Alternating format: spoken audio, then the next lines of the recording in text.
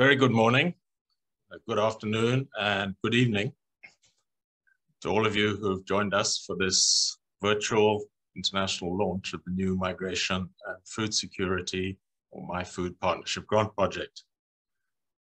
Uh, our participants today span over 15 hours of time zones from British Columbia on the west coast of Canada to Nanjing in China uh, in the east.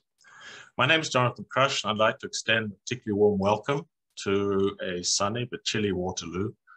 To all of the participants in this project from our partner organizations scattered around the globe, uh, our funders, Social Sciences and Humanities Research Council of Canada, and to everyone else who's logged on to find out more about a new initiative that we hope will fundamentally reshape our understanding of the nexus between migration and food security in the next few years. First, a quick word about the program for those who haven't had the opportunity to consult it. I'll shortly introduce our two main speakers for the opening session, and then we'll move on to a brief overview of the context, aims, and objectives of the MiFOOD project. We'll then hand over to our panel of prominent international experts who reflect on the issues which the project seeks to address from different institutional, thematic, and disciplinary perspectives. And the panel will conclude with a short Q&A. We'll then move to wrap up with some concluding reflections, and we hope that you'll stay with us for the next hour. So let me move quickly to get the program underway by introducing our two speakers who offer some words of welcome. Uh, first, we'll hear from Dr. Anne Fitzgerald, who's the director of the Balsillie School of International Affairs.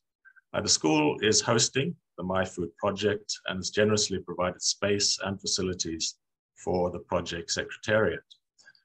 Then I'll ask Jonathan, Dr. Jonathan Newman to say a few words on behalf of Wilfrid Laurier University, the lead Canadian university in the new project, where he is the vice president of research.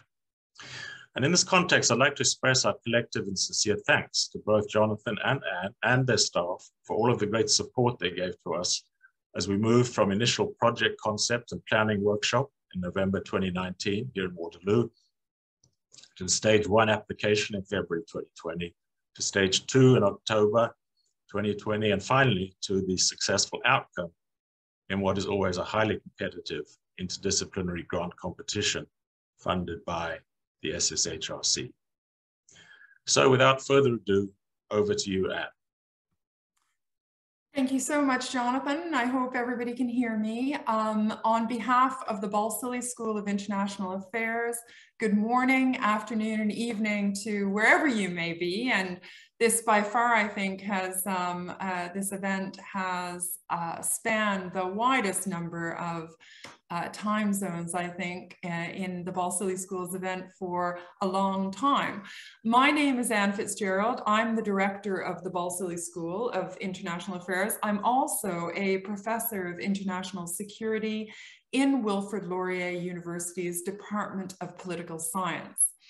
It's my distinct pleasure and privilege to participate and help to open this official launch of the MiFOOD Partnership grant project. It's an exceedingly important research project which falls squarely within the broader work of the Balsillie School's Migration, Mobilities, and Social Politics Research Cluster, and also, of course, the broader research program led by Professor Jonathan Crush and his Hungry Cities Partnership Team, and the broader global network um, that is involved in this work uh, many representatives from which are here today. Before I continue, I would like to start with a land acknowledgement. For those in the audience tuning in from outside of Canada, one of the actions we take to advance reconciliation between settler and Indigenous peoples is to reflect on our relationship with the land and on the continuous process of colonization that deeply impacts our work. Acknowledging this land is uh, an is, is a process of deliberately naming that this is indigenous land and that indigenous people have rights to this land. The Balsillie School of International Affairs is situated on the Haldimand Tract, the land promised to the Six Nations that includes six miles on either side of the Grand River, which is on the traditional territory of the Attawandaron, the Anishinaabe, and the Haudenosaunee peoples. We are thrilled and delighted to welcome such a broad range of renowned experts today on intersectional issues concerning migration, mobilities, and food insecurity. It is a subject that the wider research community here in Waterloo shares a committed interest to, and indeed uh, an area that plays a significant role in uh, Wilfrid Laurier University's broader research strategy and the interdisciplinary perspectives that the Balsillie School brings together under Jonathan's lead on this issue. As some of you may be aware, the Balsillie School of International Affairs is part of a collaborative research arrangement with three other partners. Those partners include University of Waterloo, Wilfrid Laurier University, and the Center for International Governance Innovation, a, a policy think tank which is co-located with the Balsillie School in our wonderful building. We are based in the center of Waterloo, Ontario, Canada, and I like to describe this, um, uh, uh, this footprint that we occupy as being at the heart of the intellectual square mile of a city in Canada that is reputable for innovation, technology, and interdisciplinary perspectives on governance.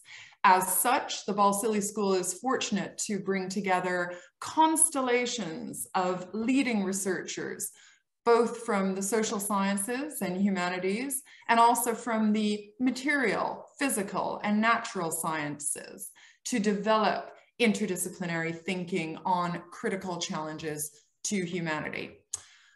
Although the Balsillie School has pursued a, very cautious return to our building strategy and to our campus, we made a decision in September of this year to, until the winter term sets in, maintain virtual events only. Having said this, we look forward to hosting you all here in our wonderful building very soon and wish you the very best for this important event and the interesting discussions that will no doubt flow from the event and shape and inform the project's journey. So thank you very much. Um, I'd like to pass the baton now over to Wilfrid Laurier University's Vice President for Research, Jonathan Newman. Thank you, Anne. And thank you, Jonathan, for the kind invitation to help you celebrate this wonderful achievement. It's my distinct pleasure on behalf of Wilfrid Laurier University to welcome you all. Looking at the chat, it's really, really lovely to see guests from around the world. Thank you for joining us outside of your, what are I'm sure outside of your regular working hours. I wish we could have done this in person, but in a way, Zoom makes this a much more inclusive event than it would have been had we done it in person. Nevertheless, Perhaps we will all be together for a celebration of the end of the project. I won't presume to lecture this audience on the moral imperative that we have to ensure that all people enjoy food security. You all know the challenges far better than I do. Um, but I would like to think that solving these challenges is not beyond the wit of humans. And I am hopeful that the work of MiFOOD Partnership uh, will help us move to a world where the most vulnerable amongst us can experience a better life. The English novelist Mary Ann Evans once remarked, what do we live for if not to make the world less difficult for each other?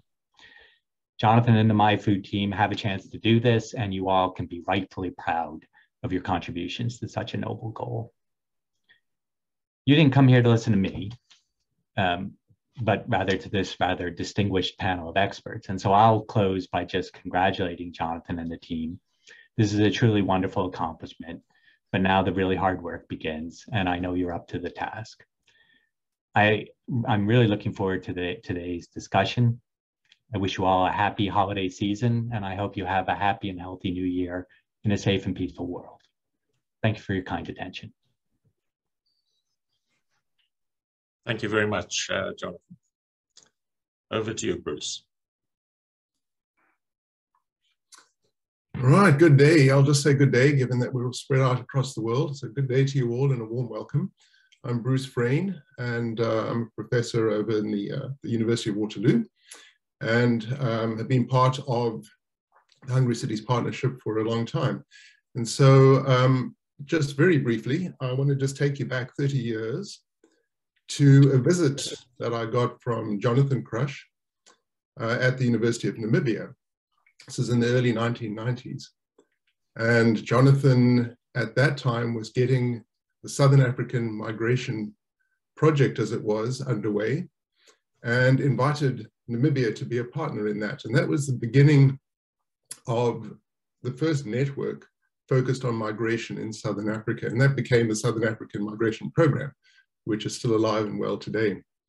Little did we know, though, that there would be several other networks built on that foundation that would take us 30 years into the future, and that's where we are today.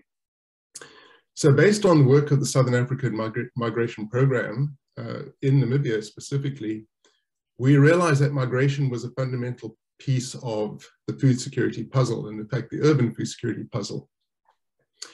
We pitched this to the IDRC, International Development Research Center of Canada, and they gave us some, some funding and said, get together with some people from your network in Southern Africa and figure out whether you want to do further work on the relationship between migration and urban food security.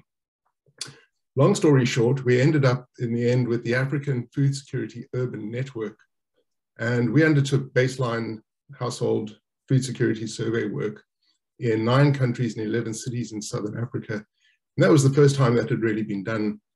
We were very excited by the results, and that then led us to ask another range of questions about food systems, informality, uh, and so forth. And we also wanted to expand our work to the global south. So that then resulted in an expansion of the network and the formation of the Hungry Cities Partnership, which is kind of an umbrella for several networks, but also for projects. And so here we are, uh, several years on with the Hungry Cities Partnership, expanded yet again, and uh, we have a new project, and that is MiFOOD. So I'm going to ask Jonathan and Zhenzhong Si to tell us a bit more about that project and take a deep dive into what it is all about. So thank you.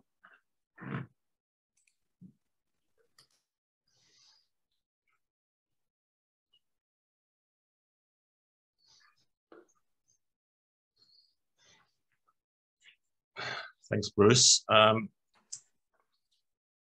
Zhenzhong and I are going to provide you with a uh, really condensed overview of the MiFOOD uh, project.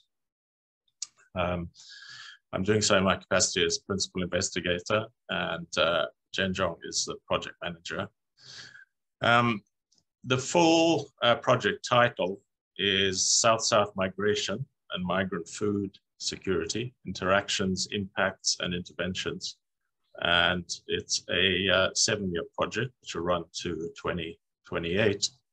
And it falls under the general umbrella of pre-existing uh, partnership, the Hungry Cities Partnership, and there's a, a link there for those who are uh, interested.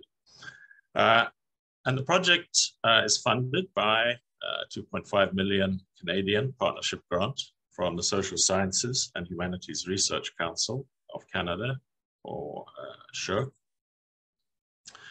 to whom I thanks, and uh, over $5 million in contributions from our MiFOOD uh, partners. Next slide, please. The MiFOOD team uh, constitutes uh, 22 different partner institutions and over 90 uh, researchers. The main organizations in Canada are, as you've heard, Laurier and the University of Waterloo, and Balsillie School, uh, but also the University of the Fraser Valley in British Columbia. We also have um, participants, individual academics from five other uh, Canadian universities. In Africa, University of Western Cape, uh, University of Namibia, uh, Eduardo Mondlane in uh, Maputo, University of Ghana, and University of Nairobi in Latin America and Caribbean, University of the West Indies, uh, UAM in Mexico City, and USFQ in Quito, Ecuador. Uh, in the Gulf and Asia, HBKU University, the International Institute of Migration Development in India, Nanjing University, and National University of Singapore.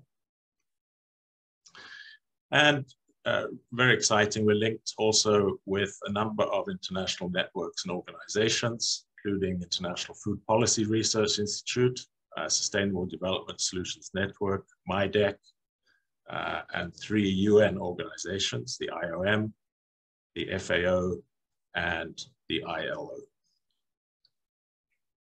Next slide, please.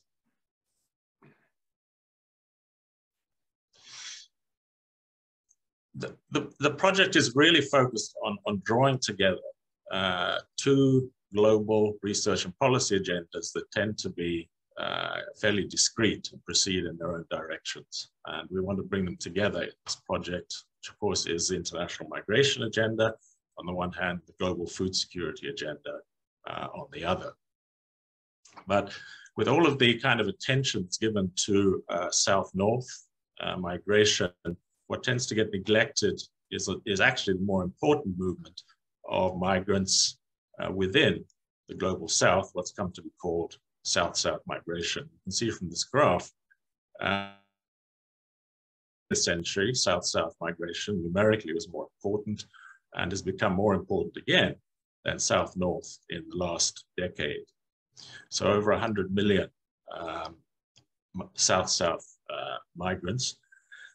And this project will also uh, concern itself with internal migration, and there are an estimated uh, 760 million internal migrants in the global south. Uh, next, please. This is just a map from a recent IOM uh, publication showing the distribution of international migrants.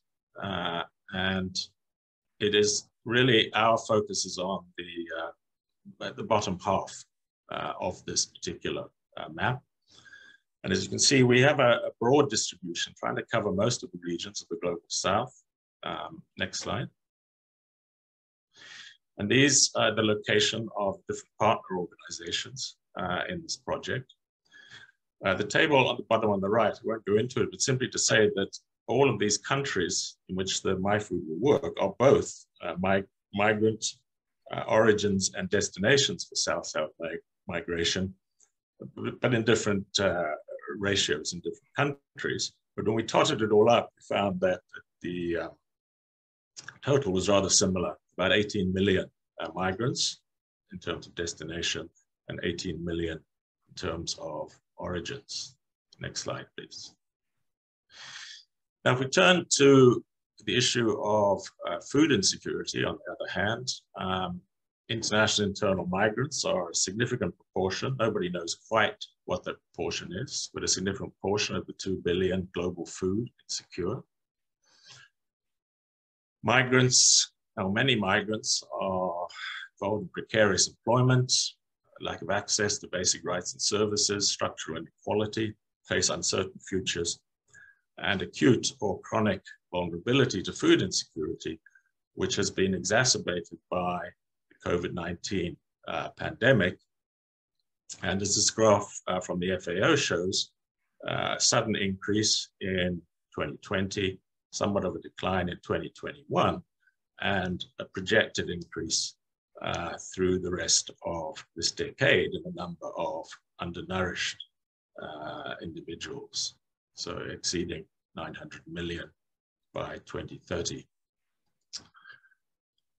So uh, next slide, please. That's really just uh, by way of a very broad brush uh, overview of these uh, two different uh, processes that we want to bring together in this project. So I'll hand over now to my colleague, uh, Zhenzhong to walk you through some of the goals, objectives of the MiFOOD project. Over to you, Jen. Thank you, Jonathan. Um, so I'll use the last few minutes to go over the goal, objectives, contributions, and also some of the research activities of MiFOOD. Um, the overall goal of MiFOOD is to design and implement a new and innovative high impact global research and knowledge mobilization agenda focused on the neglected interactions between migration and food security within the global south. Um, it answers some important questions such as is migration a response to food insecurity Um, does migration lead to better food security and um, related outcomes for migrant populations and migrant sending um, communities as well? If not, what evidence-based um, um, interventions and practices might uh, help to mitigate um, migrant food insecurity? Next slide, please. Um, the objectives of uh, MiFOOD uh, addresses all five SSHRC insight program objectives. Um, so in particular, uh, the objectives of MiFOOD include seven uh, of them, including um, revealing the links between South-South migration, rapid urbanization, and food insecurity, examining the different drivers, dimensions, and vulnerabilities of internal and international migrants to food insecurity, um, providing insights into the food insecurity susceptibility of migrants in bilateral and multilateral South-South migration corridors, um, and showing how the transformation of urban food system is generating new forms of migration and precarious employment in the food in the informal food sector for migrants. Uh, assessing how migration and food system governance impact on migrant food, uh, food security. In addition to these five uh, research objectives, we also aim to build the institutional capacity of research organizations and networks in Canada and across the South to conduct um, collaborative policy-oriented research and also train a new generation of scholars in Canada and uh, partner countries. Next slide. Um, MiFOOD will make a major contribution to knowledge in several interrelated fields. Um, so here I want to highlight uh, five of these major contributions. First uh, is a project will provide new empirical and conceptual insights into forms of South-South connectivity by contributing to greater understanding of human mobility. Um, the second um, contribution relates to the neglected um, uh, scholarly research on migration within the South itself. As Jonathan uh, mentioned just now, there is a vast literature on migration from the global South to Europe and North America. Um, however, migration within the South itself has been uh, seriously neglected. So the project um, therefore will respond to the recent calls of scholars and international agencies for much more work on the drivers of international and internal South-South migration. Um, third, the project will also inject an important new dimension into the ongoing debate about the relationship between migration and development, um, which is the crucial connections between migration, development, and food security.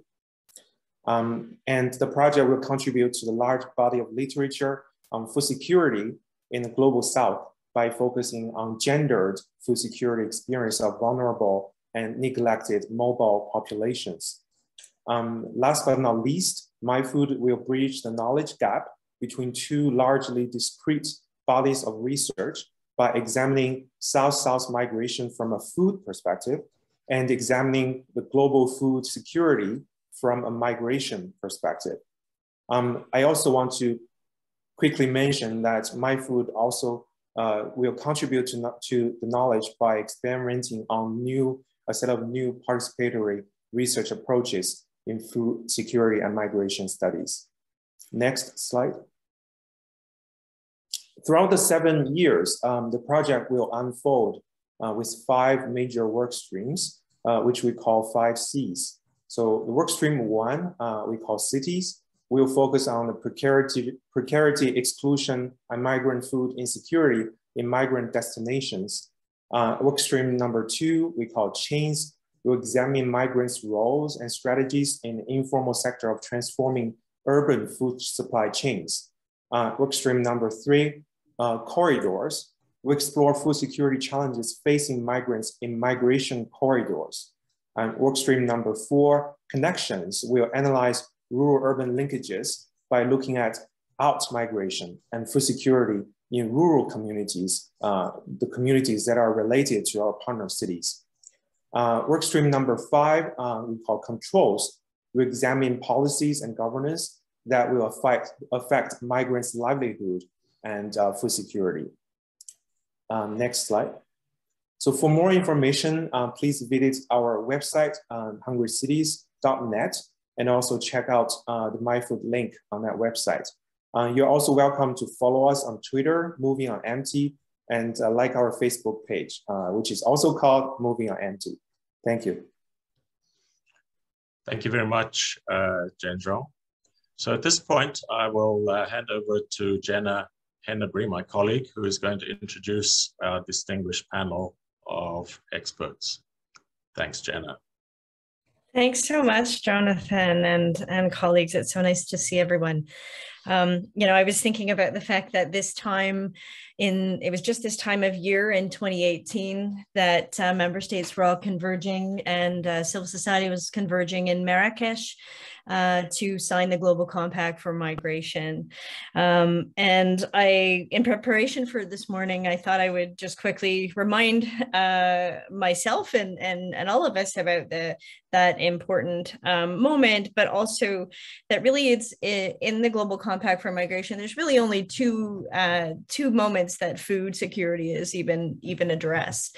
And it's around drivers of migration, and it's around thinking about, you know, food in the context of, of detention and I think um, that moment is really important for us. And I think that what this is telling us is that this project, the MiFOOD project, is so vitally important at this point in time when, uh, you know, the, the recognition of food security as part of migration is only just uh, begun at the international level. Um, thinking of it as drivers is one thing, but thinking about you know people's food security on the move right? Uh, people need food while moving in all stages of migration. And um, that this process and and securing food is a gendered and racialized process. And it has une, un, uneven outcomes um, where uh, women uh, in particular and other marginalized groups have real challenges in accessing food security. Um, but they play a really key role uh, in um, you know the informal economy and care economy and so many other ways. And so there's so much work to be done on trying to, to, to understand the complexities of the way in which food and migration link together and the way in, in which uh, gender and other factors um, uh, intervene uh, throughout that process. So this is but one example of the ways that I think this project is so vital um, to, to moving forward towards the 2030 agenda um, around really thinking about adding complexity and, and evidence base uh, to the food migration nexus. So with that as backdrop, I want to introduce some exceptional speakers um, that are representing not only um, different ways of thinking and approaching the issues, but different sort of uh, policy mains, uh, domains, and and uh, organizations that that might um, think through from different perspectives this very challenging issue and bring their um, ex expertise um, uh, to um, to addressing the challenges in front of us. So I'll start uh, by introducing uh, Marie Ruel, uh, who's director or has been director of the International Food Policy Research Institute. Um, since 2004. Uh, Dr. Ruel has worked uh, for more than 25 years on policies and programs to alleviate poverty, food insecurity, and malnutrition in developing countries. She has led the multi-country uh, multi-country program on challenges to urban food and nutrition and the global regional project on diet quality and diet changes for the poor. Really looking forward to hearing your comments. I will give you the floor. You have, you know, roughly five minutes. Go ahead.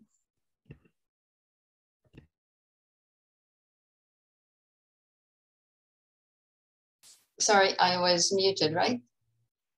Okay, uh, so good morning, good afternoon, good evening, everyone.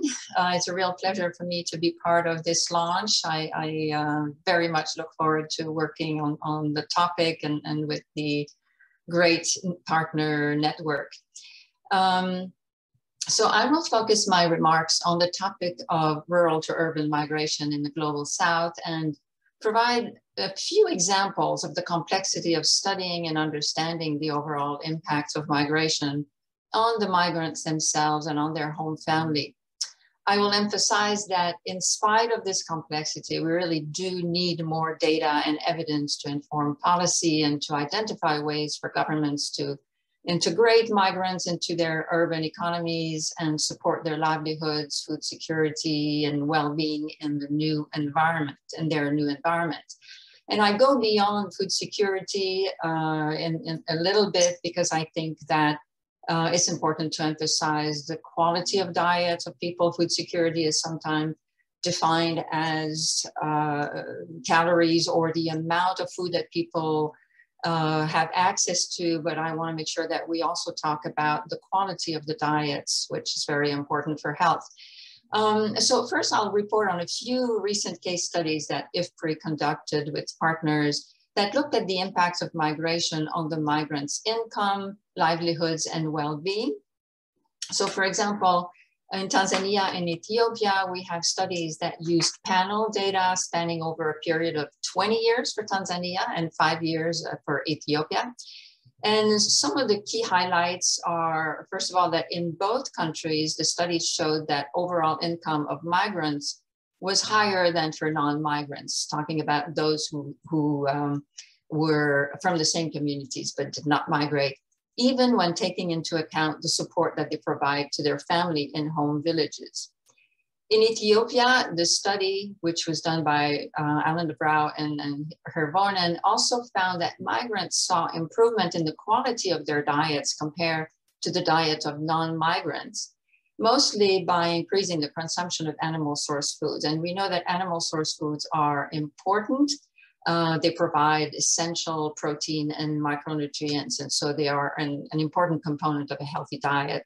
So this is a good positive outcome the Ethiopia study also found larger gains for men migrants compared to women and for migrants who had been in their urban location for longer periods, which is not too surprising. The benefits accrued over time as, migrant, as migrants found jobs, adapted to their new environment and settled uh, in their new life. On the other hand, other studies from our team uh, when looking at other types of indicators such as quality of life and sense of well-being, uh, find a less rosy picture. A study, for example, uh, in Senegal of the horticulture, horticulture sector showed that migrants tended to earn higher wage than local workers by using a decent but but by using a decent work index, they showed that migrants had lower job quality. Uh, they worked long hours, they worked at nights, and they worked on weekends. So uh, although again they had higher wages, their quality of life was was lower. Um, similarly, a study in Pakistan showed that despite having 35 to 40% increases in income, migrants experience a deterioration in subjective well-being compared to non-migrants migrants were less likely to report being happy, calm, in excellent health, or, uh, or and were more likely to report recent illnesses. Uh, finally, in Haiti, another study of well-being that looked specifically at the diet quality among uh, rural to urban youth migrants showed that migrants consumed more ultra-processed foods, including high sugar beverages and unhealthy food snacks compared to their peers in rural areas. Um, this finding confirms that moving to urban areas, although it may have some positive effects on diversity of diets, as suggested in Ethiopia, may also lead to unhealthy shifts in dietary patterns that are concerning uh, because uh, consumption of, of uh, ultra processed food and, and, and fast foods is associated with uh, much increased risks of, of overweight and obesity and non-communicable diseases, and it's not consistent with healthy diet. So I chose those examples to highlight the complexity of analyzing and understanding the specific conditions of migrants, which depend on a host of factors, as you all know, that relate to why they migrated in the first place, where they went, how long they have been in their new environment, and what their personal characteristics are, including their gender, age, education, and family situation. But at the same time, the complexity and the dynamics of migration processes mean that we really need to develop a solid research agenda that systematically allows to document those processes across a variety of contexts. We need to develop and use standardized approaches, measurement tools, metrics, and outcome indicators that allow for comparability across the studies. At the same time, we do need the local evidence so that we can engage with national policymakers and other stakeholders and stimulate the development of evidence-based support systems for migrants, especially new migrants, and help them adapt and integrate into their new environment. So overall, uh, my main message is that uh, there is an urgent need to fill the data gaps when it comes to migration, and this project is, is wonderful in, in attempting and, and aiming to do just that. Uh, we need the data and evidence to create awareness, to inspire and encourage the adoption of policies and initiatives to strengthen the contribution of migrants to national and global economies. And equally important, equally importantly, to support their livelihoods, food security, diet, nutrition, health, and overall well-being. Thank you. Thank you so much, Marie. That was uh, very interesting and um, already starting to get us thinking about all those complexities. Thank you. So I'm going to turn it over now to um, uh, Marie McAuliffe, uh, who is head of the Migration Research Division at the International Organization for Migration, uh, headquarters in Geneva. She's editor of the IOM's uh, flagship World Migration Report, which I'm sure some of you have seen uh, being circulated and after its exciting release uh, again uh, this year. Um, she is an international migration specialist with more than 20 years of experience in migration, practitioner, program manager, senior official, and researcher. Um, she has researched, published, and edited widely in academic and policy spheres on migration. I can say she's exceptionally great to work with and uh, has uh, such insight. And I'm really looking forward to hearing uh, from you, Marie. So I'll turn over the floor to you. Go ahead. Thanks so much, Jenna. So, such a lovely welcome. Um, very, very nice introduction. I really appreciate it. And uh, yes, um, we have collaborated and, and, and will continue to collaborate. We are, of course, um, on a range of different research projects going forward, and it's delight to be here. Um, the reason I look so tired is we have just launched, as Jenna mentioned, the World Migration Report. So it's been a pretty busy time, uh, and we look forward to working with people all over the world again on the next one, which is starting uh, next month, preparations for that. But in the meantime, um, thank you again for the introduction and also to Jonathan and to Zhenzhong for the invitation and opportunity to be, to be on the panel today and, and also to be associated with this, this excellent initiative. And, you know, really hats off and congratulations again in, in terms of the success of the funding round, which is really um, great to see, very, very timely.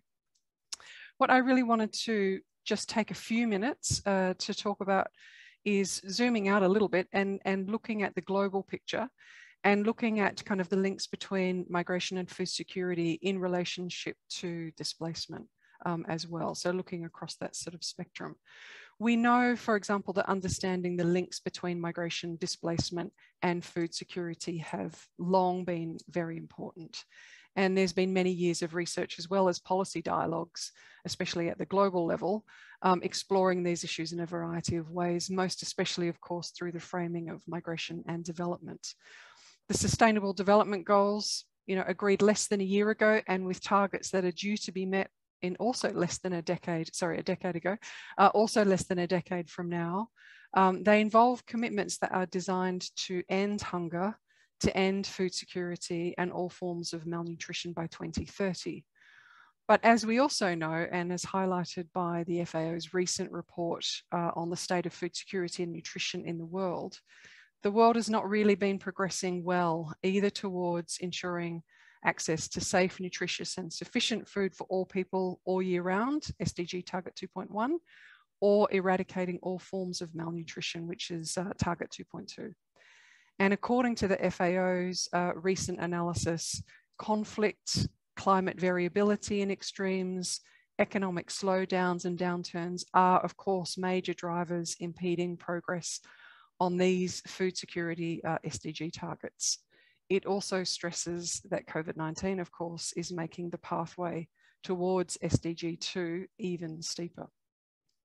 So much so that in 2020, um, FAO estimated that between 720 and 811 million people faced hunger directly, and that that number of people in the world affected by hunger has increased due to the impacts of COVID-19. So in 2019, for example, the number was uh, 690 million uh, facing direct hunger. Similarly, we're seeing conflict and violence. We're seeing disaster events such as hurricanes, floods, and wildfires, and slow impacts of climate change, as well as economic downturns and growing inequality, also increasingly underpinning human mobility. Now, human mobility, what are we talking about when we say human mobility? We know that human mobility can span the displacement migration spectrum, involving a wide range of mobilities such as acute mass displacement events, through to the use of migration as a long-term adaptation and coping strategy in the face of ongoing significant transformations, whether they're related to technology or geopolitics or environmental impacts. Conflict, hunger, migration and displacement can be very closely intertwined. And although precise figures may be incomplete, it's estimated that around 80% of populations displaced by conflict within countries or across borders are located in countries affected by acute food insecurity and malnutrition. A recent study by the World Food Programme found that insecurity is a critical driver in international migration, interacting with other well-established migration drivers such as economic opportunity or lack thereof, uh, demographic change and population growth, as well as transnational social and economic networks. At the same time, food insecurity can be an outcome of migration, as significant numbers of migrants find themselves concerned about not being able to meet their food needs along their migration route, particularly when transiting. This issue, of course, has been heightened more recently in the context of COVID-19 mobility restrictions. And last year, IOM, together with the World Food Programme, conducted a joint study that specifically looked at the implications of COVID-19 on migration and displacement in the context of food security, just as the pandemic was really unfolding. Some of the key findings from that 2020 study included that income loss and unemployment pushed many migrants to return home, particularly those who were unable to support themselves in destination countries, you know, seriously impacting migrants and their families, especially those in origin who rely on uh, international remittances for food and shelter, for example. We also found that return journeys thwarted by COVID-19 border closures and travel bans left nearly 3 million people stranded in the early part of the pandemic. Uh, many migrants unable to return to their places of work or return to their communities or countries of origin. We also found that migrant workers in the informal sector were those who were worst hit by COVID-19, profoundly impacted by mobility restrictions such as lockdowns, but also affected by job loss and typically excluded from social protection systems.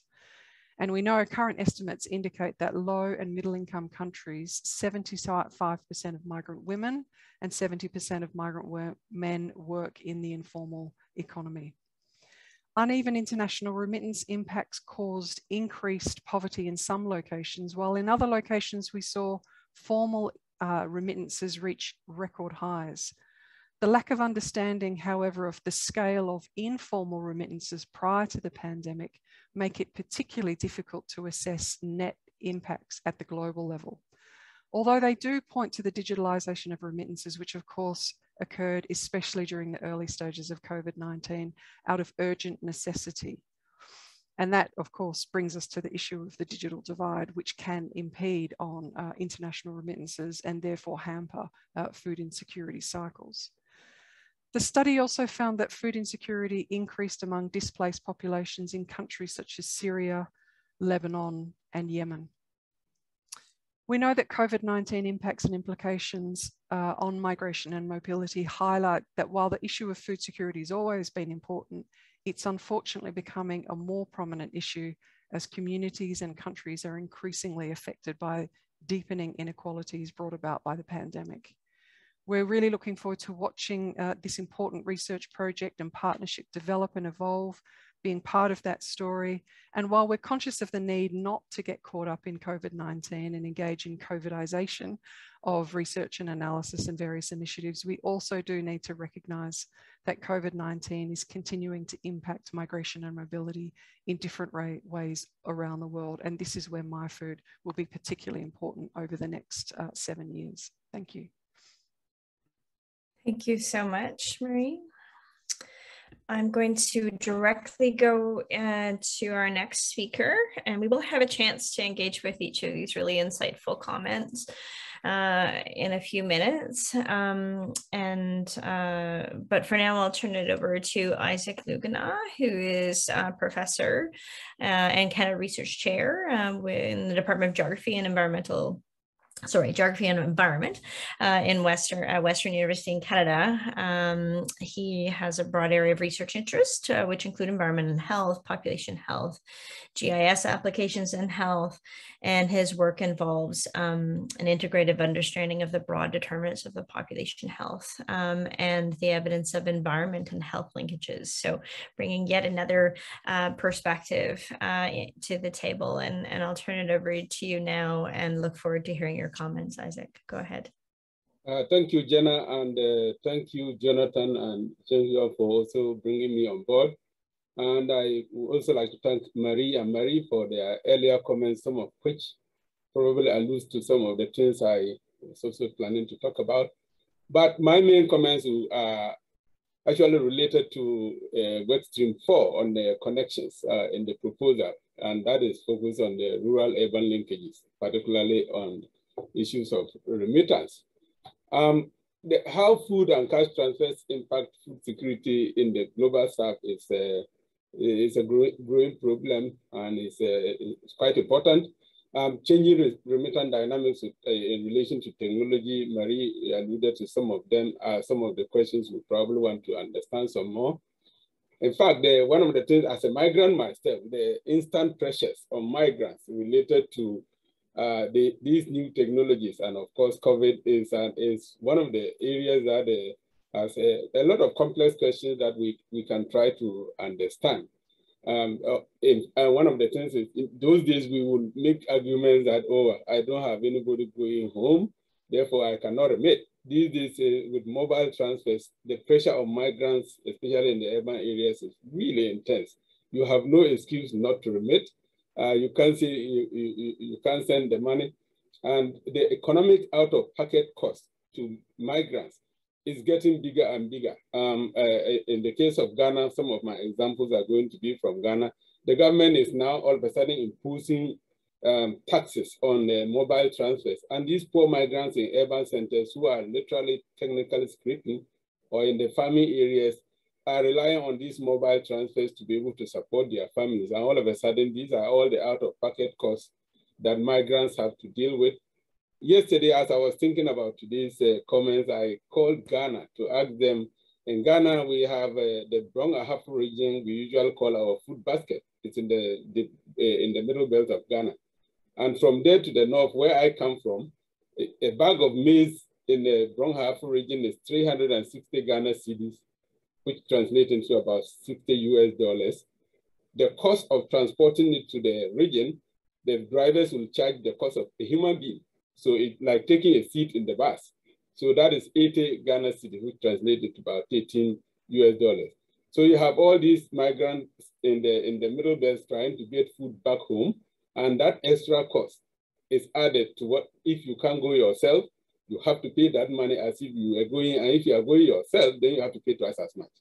And yet the government is imposing more fines on such migrants. So these are all interesting areas of work that what we, we can look into in terms of what are the out-of-pocket costs, and then, then related to food security to these migrants in these destinations.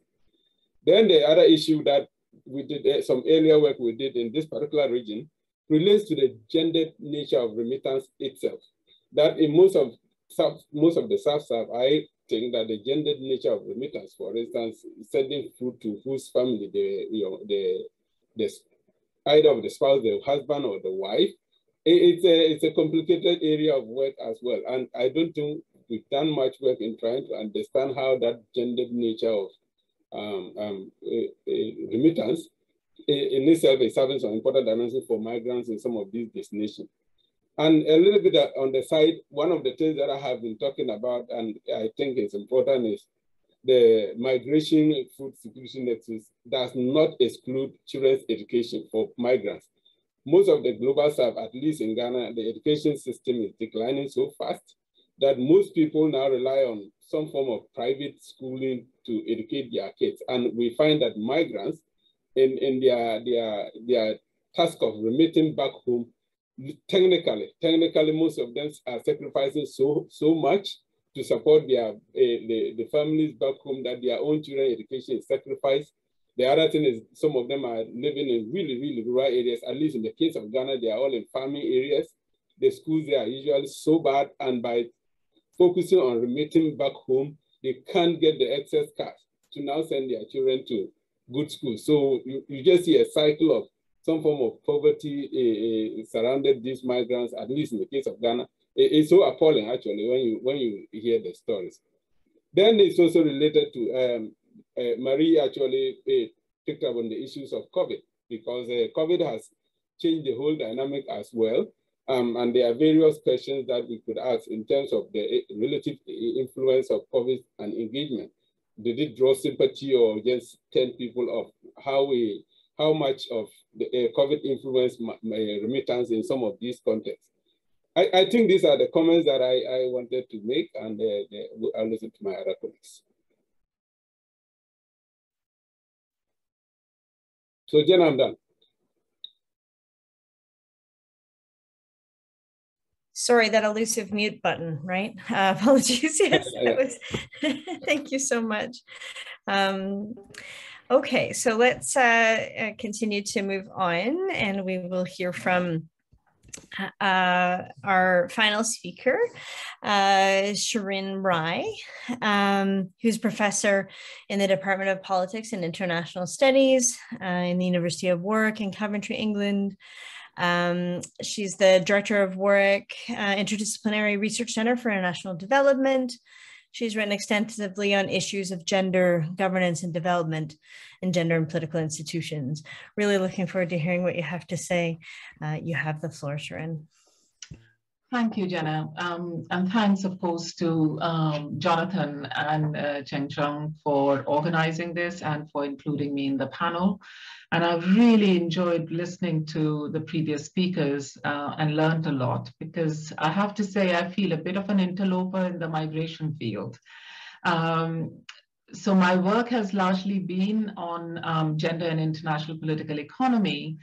And then when the first COVID wave hit, I think you must all remember the, the coverage that was given to thousands upon thousands of Indian migrants uh, from cities returning to rural areas in, um, in India.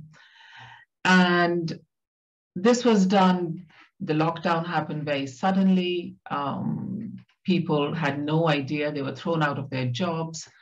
The jobs were tied to their accommodation. They were thrown out of their accommodation. There was no uh, uh, government support for travel. And many died um, traveling back to rural areas. So I became interested in uh, issues around food security, security itself, and migration as a result of uh, watching all this unfold uh, on the BBC, sitting here in the UK. Um, and what it made me think of was how COVID had disrupted the quote unquote normal migration patterns. Um, and I started to think about what are the consequences of these disruptions, in particular for, of course, the migrants. Um, they are really important, and, but they were visible, but also for those who were invisible where the migrants were returning to, their homes. And we heard very little about in, in the narratives, understandably so, I suppose, but we heard very little about how they were received, what was the impact of their return um, on the household itself. So the travel restrictions, lockdowns, and movement controls sort of that were imposed by states meant that while the migrant workers often faced destitution and danger in the attempt to return home or were unable to return at all, this also disrupted the under sort of, you know, the, the household economy. Uh, but we know very little about that. So I've been working with the idea of social reproduction, which is really very briefly the reproduction of life itself, um, and trying to think through how social reproductive uh, patterns were disrupted by the disruption of migration patterns. So that is what um, uh, my interest in, in MiFOOD is really. And also, of course, um, sort of uh, as we have heard from Isaac, uh, you know, the, the link between rural urban is really strong in the global south. And this disruption, for me at least, underlined also the importance of keeping the rural urban geosites for research, sort of keeping them together. These two sites are not separate, but are often separated.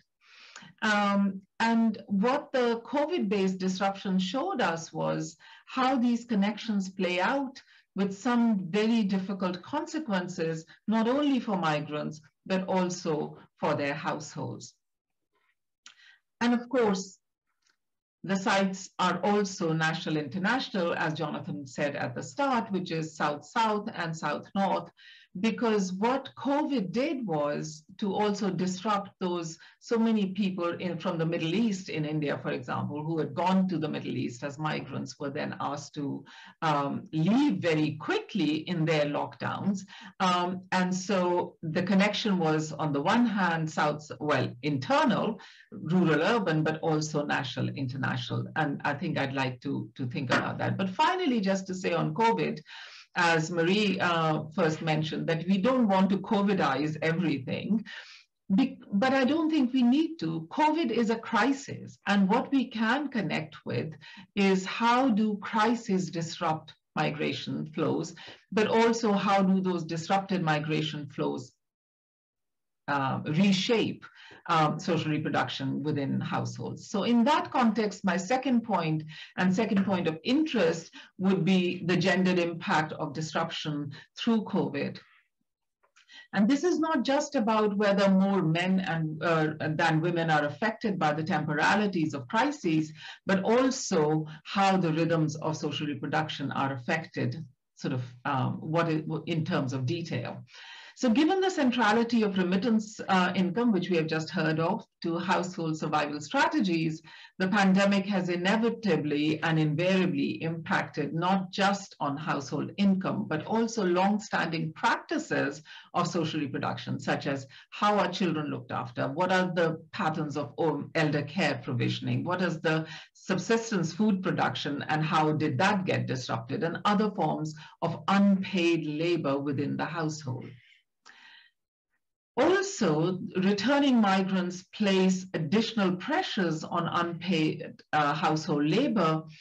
And of course, a loss of remittance income means that this unpaid labor intensifies as household members may be unable to mitigate some forms of social reproduction. For example, paying for care or, or uh, easy access to the market for food, etc also, how do you then uh, reverse migration and intensification of social reproduction under stress of loss of income uh, has been seen to increase, for example, domestic violence. Um, there was a wonderful report written by Oxfam India uh, in 2019 that says pre-pandemic uh, that uh, um, unpaid labor, the in increase in unpaid labor is also connected to increase in domestic violence. So when you have such intensification of, of social and reproductive labor, then what happens? I'm interested in that. So the global pandemic thus, um, I would suggest, places, um, it, it, places uh, tra translocal households and translocality where costs of labor and social reproduction are spatially distributed under acute duress thus intensifying the injustices of uneven immobilities and socioeconomic precarity. And I think that MiFOOD hopefully would allow me the space um, and I really look forward to conversations across all those five um, uh, work packages that were that Chong um, told us about to, to try and understand this. The third and the final thing that I'm interested in is the effect of crises on the governance of migration. Now, um, I can't remember exactly what the WP5 uh, control, yes. and uh, what we have seen is also that the crisis of food of, of COVID has been used by states to push through legislation to surveil populations and opposition and to generate nationalist populism that militates against migrants. So what we need to research is how the gender governance of migration might be improved such that the deep inequalities of income and status are mitigated through state intervention, market regulation, especially during times of crisis. So those are the three areas that I'm interested in uh, examining together with colleagues on my food. Thank you. Thank you so much, Sharon. That's um, uh, I think uh, a really uh, interesting uh, set of, uh, of, insights to end on in terms of our discussion, or maybe not end on, to lead us into more discussion. Uh, certainly, I think thinking about the the role of um, just sort of thinking about the care economy and and, and the informal economy and how this is is all connected in is is really key. Um, certainly, it's some an area that I'm interested in. So, um, but I will ask now for people people to indicate if they would like to uh, weigh in, if they have questions or comments. Um, I'd uh, encourage you to use the chat. Uh, let me know if you, you have a question uh, of any kind uh, and uh, or a comment. And now you'll have a, a few minutes um, to, to engage with our panelists. Um, any thoughts? Um, you can also raise your hand if that's you know needed. For some reason, I don't see you. Um, Uh, do we have any questions? we are hearing positive uh, things in the chat. People are saying um, good things about us and about what we're trying to do here, so that's good. But uh, but I was wondering if people had any particular questions. If not, I will I will lead off with a question. Okay, then I will lead off with a question and see if anyone has any. We only have a few more minutes for discussion, uh, and uh, but I definitely I'm really interested in this um, uh, like a reflection from you know possibly from from yourself and from from Isaac about uh, Sharon and Isaac in particular around the informal economy. Um, and thinking about the way in which uh, food security is um, is is tied into the informal economy and and how um, you know, and certainly lessons learned from from COVID help us here, but also just sort of moving forward in terms of what are the areas we need to be uh, investigating uh, and thinking through and, and how do we move forward with um, with uh, with addressing those uh, with reference to the informal economy. I wondered if either of you had any thoughts or reflections. Maybe I'll go Isaac and then Sharon. Yeah, so so it, it's true that in most of the global south, the migrants literally find themselves in the informal economy. Most of them, right? Especially eh, right when they are still starting to in these new destinations. There's no way you can survive without jumping into it. And especially with COVID, when things were closing down in some of the, at least in the cases of Ghana and the rest, they, they, they are always the first, the first, first line of people to get nailed they, in, in the sense of losing their informal jobs and their informal networks and not be able to send remit at home to, to people at home. So those are the, the, the key challenges that I think the, the given that that's where they start, most of them start really right there. So it's, it's uh, depend on it, how you raise the question by period. But I think that, that uh, those are some of the issues that I, I will be interested in at.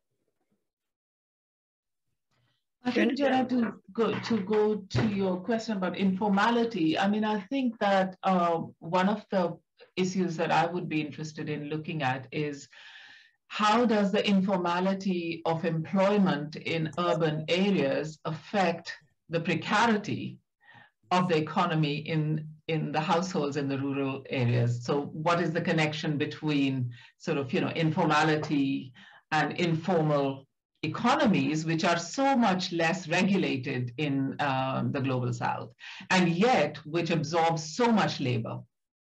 Uh, and so the precariousness and what we found in india was how that precariousness meant that you know this this sort of migration, which was absolutely a flow of people, uh, was really to do with, with the way in which informal economies are unregulated or not unregulated, but they're not as well regulated, which means, which has all kinds of consequences for, for those involved. And then the second thing in terms of informal economy is how do we define informal economy? So is the unpaid economy of the household, is that informal economy or not? And if that isn't, then, and how does that connect with sort of, you know, the production for the household? Not by the household. So some of those big meta questions which economists kind of pose but take for granted, if you start unpacking them through these uh, projects, then I think it would be really interesting for us.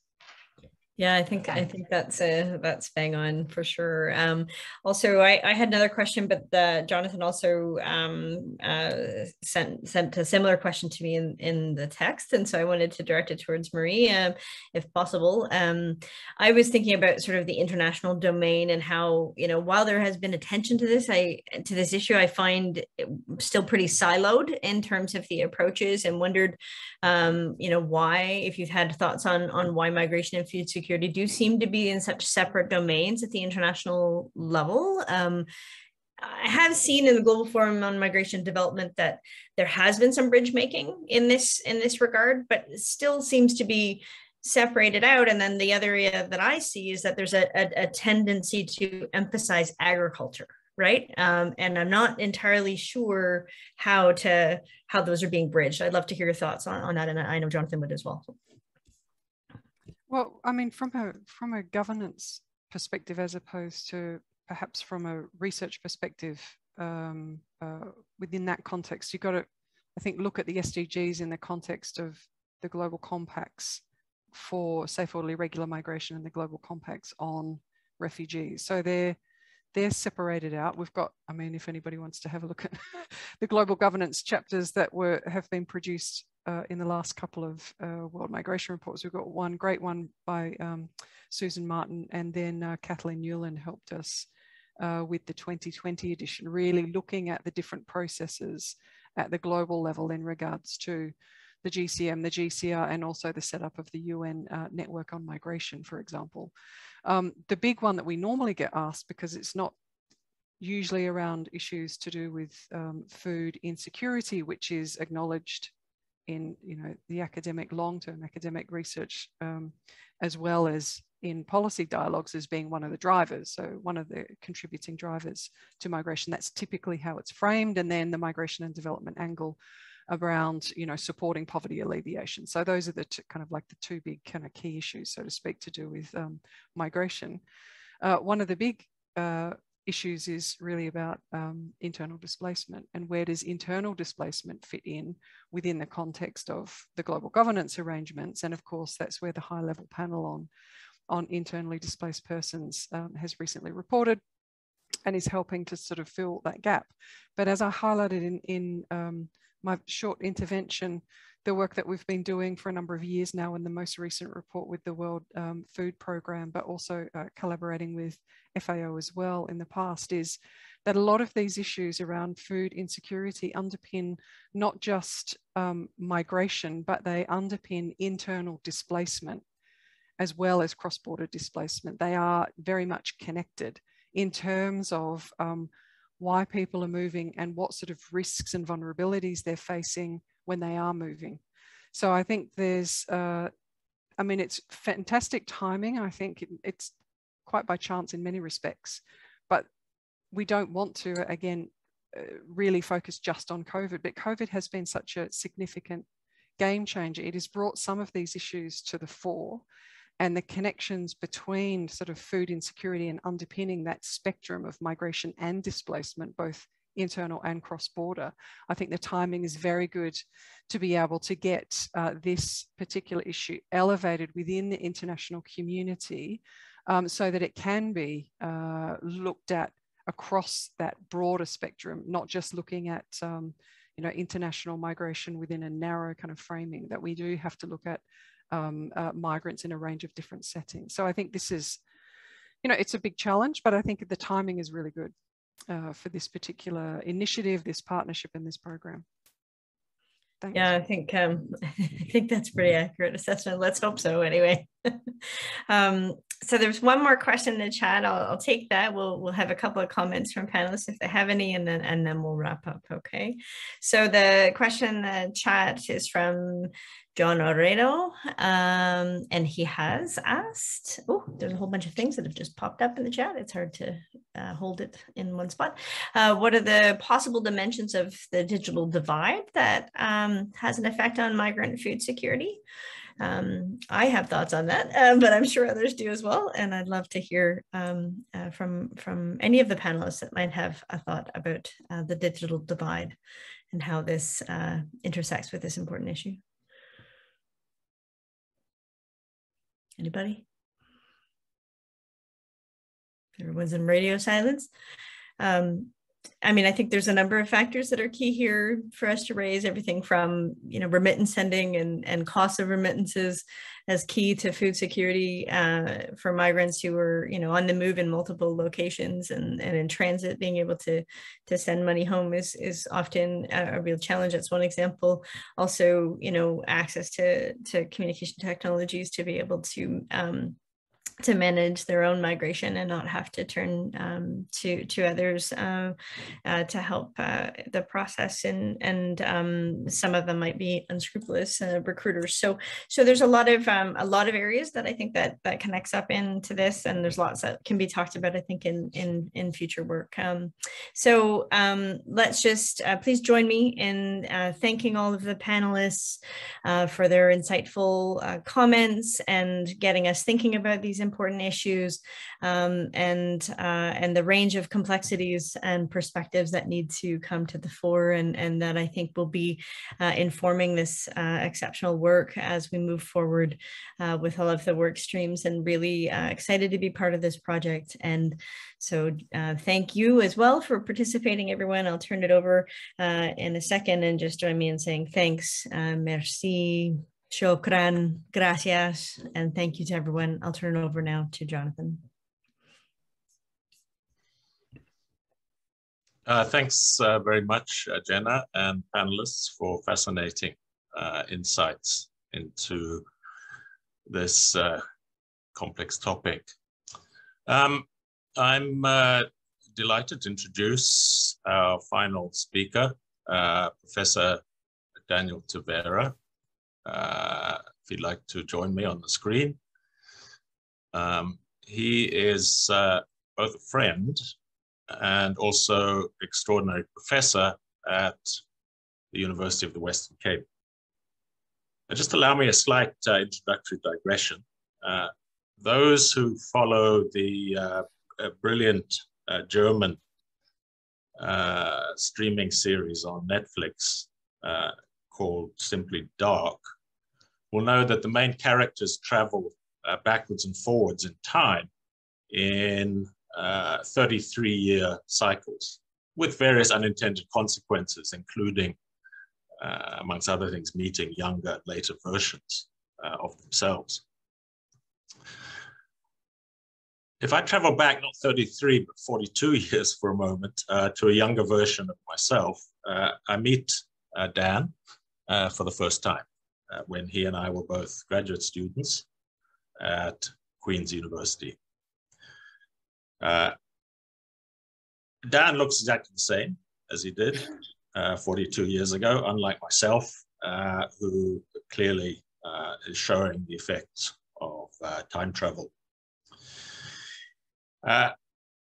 Dan has worked with us for many years, first on a couple of projects that Bruce mentioned, on the Southern African Migration Program um, when he was at uh, University of uh, Zimbabwe, and, and, SAMP is actually now housed at University of Western Cape. Um, also on uh, the African Food Security Open Network, when uh, he was at the uh, University of uh, Eswatini. And now uh, delighted to, to welcome him and, and colleagues at the University of the Western Cape as our South African partners on the MiFOOD project. And UWC is a great um, institution, but also uh, a center of excellence for both food and migration studies in South Africa and Africa more broadly. So we're very delighted to uh, have uh, Dan here with us, and he's just going to offer a few concluding uh, reflections uh, on uh, the project and on what he's heard today. So thanks, Dan, over to you back in the 1970s. Thank you, Jonathan. My task today is quite simple, and it is to do the closing. The session has been very interesting, so uh, it makes my task even a lot easier. I would like to do so by underlining what makes MiFOOD project a significant contribution to the two fields of migration and food studies. First, the project addresses various interrelated gaps in knowledge, the so-called liminal spaces that appear when South-South migration is examined from a food perspective and when global food security is examined from a migration perspective. Jenna has talked very briefly about the silos. Uh, there is need to unbundle the existing silos, uh, especially uh, regarding migration studies and food studies. And from what we have heard this afternoon, uh, there is a deliberate attempt to, uh, to do so by uh, addressing the several intersectional issues between migration and food. However, this will require novel ways of visualizing and imagining how to study these inter intersections or interactions within these overlapping migration and food spaces at the local, national, and regional levels. Zhenzhong's presentation is focused on uh, the methodological approaches, and it is quite evident uh, from what he has said that um, um, ways of addressing these intersections have been clearly thought about. And the second point um, is that this project, uh, you know, it attempts an epistemic or epistem, uh, epistemic positioning of the project um, it's quite unique the way it has been constructed and developed. It aims to promote a very clear South-South dialogue on migration and food. I think this is very important, uh, especially from the point of view of uh, generating uh, this body of knowledge from the global South. Uh, another very impressive uh, issue regarding uh, the research teams is the vast geographic reach. There are 12 different countries across several continents um, in the global south. And of course, Canada uh, is there to play a role. And these studies will focus on the interactions between South-South migration uh, which is quite significant, and also food insecurity. which define the daily experience of millions of migrants in the global south. It will bring South-South migration and food security together in a framework we've been told that addresses the systemic development challenges with relevant to several SDGs. And finally, congratulations to Jonathan Crush for pulling together this massive project. Uh, we had uh, various discussions about this project um, at different levels, and it was just difficult to imagine how this thing could come together the way it has emerged. Thank you so much. Well, thank you very much, uh, Dan, for those uh, concluding remarks. It is, of course, something of an irony of the uh, COVID pandemic that we are now so used to Zoom that we can actually hold uh, this kind of uh, event and um, bridge the so-called uh, digital uh, divide. Uh, and of course, going forward, this will help us greatly in, in, in the challenge, as you rightly point out, of bringing this rather ambitious project and the many partners and researchers uh, together. But at the same time, we all know that in the end, face-to-face -face, contact, socializing, um, is, is vital to uh, building of a really strong and robust uh, partnership of this character. And so uh, we, we, we kind of follow the numbers every day and we hope that it won't be too long before everyone uh, can get together uh, in, uh, in person for a meeting. So thanks to everybody for attending this, for the excellent uh, presentations. Uh, thanks uh, particularly uh, from behind the scenes to Joanne uh, Weston and Maria uh, Salamone. And finally, thanks to all of our partner institutions for their support of this project and, and cash and in kind contributions. And finally, to the Social Science and Humanities Research Council of Canada, who have given us a good platform uh, for funding the initial stages of what we hope will be uh, an organically growing uh, network, which will attract uh, lots of additional uh, support from different agencies. Thank you very much. Uh, at this point, um, we will draw the proceedings to a close. This particular um, event uh, has been recorded and will be uh, posted on the uh, MiFOOD Hungry Cities Partnership uh, website uh, for those who'd like to think some more about the um, project uh, and the issues that have been raised. So thanks so much. Thank you, Dan, and thank you, everybody. We'll see you soon. Bye, thank you. Bye. Bye, everyone. Bye bye. Mm -hmm.